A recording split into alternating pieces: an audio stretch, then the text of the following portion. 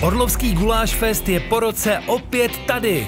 Můžete se těšit na hudební doprovod The People, Dolls in the Factory, Drops, Relucie, Kabát Revival Ostrava, Banda del Café. V sobotu 22. července doraste do areálu letního kina v Orlové a vychutnejte si výborné jídlo za doprovodu skvělé hudby. Nebude chybět ani stánkový prodej, doprovodný program pro děti a samozřejmě soutěž o ten nejlepší guláš.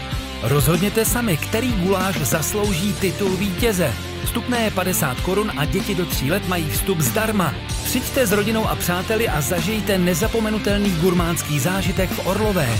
Těšíme se na vás.